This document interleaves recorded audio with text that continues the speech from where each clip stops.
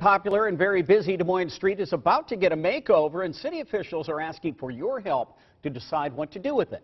KCCI's Kim St. Onge explains what changes are in store for Southwest 9th Street and how you can get involved in the planning process. Hey, good morning, Steve. This area we're talking about is this five-mile stretch on Southwest 9th Street from the Highway 5 bypass to downtown Des Moines.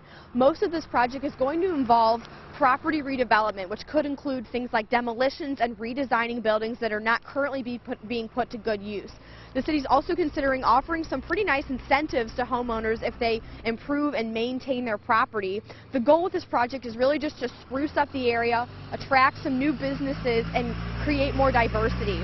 Land around Lincoln High School and the intersection of Southwest 9th and Army Post Road have already been tossed around as some of the larger areas that officials might want to focus on and improve.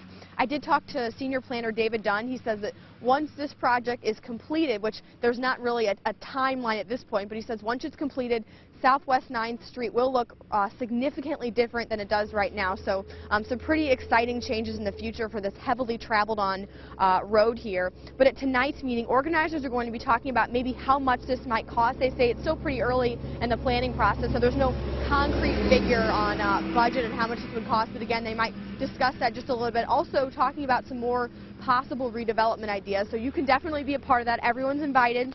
The meeting starts at 6. We're going to have some nice uh, appetizers and beverages for you. That's going to be at uh, Parish Hall at Christ the King Church here in Des Moines. The actual kickoff meeting starts at 6.30 tonight. Elizabeth? Okay, thanks so much, Kim.